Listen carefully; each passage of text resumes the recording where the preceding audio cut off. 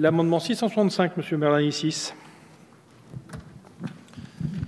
Oui, par cet amendement, nous, proposons de réécrire un peu l'article en disant que ben, s'il y avait une chose à garder, sur laquelle on pourrait avoir une discussion, c'est euh, sur les lignes euh, directrices de gestion.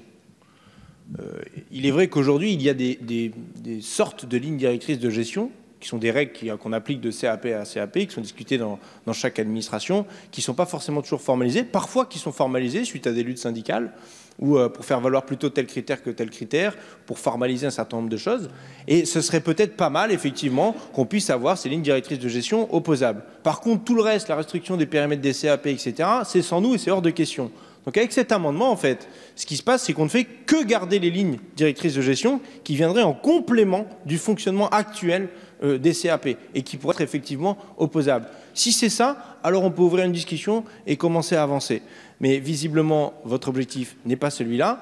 Et à vous de nous expliquer pourquoi euh, vous voulez euh, absolument mettre dans une seule et, même texte à la fois les lignes directrices de gestion et la réduction du périmètre de, des CAP. C'est bien que vous avez une intention qui n'est pas celle que vous avancez par vos mots creux de modernisation, efficacité, simplicité, etc. Merci Madame la rapporteure.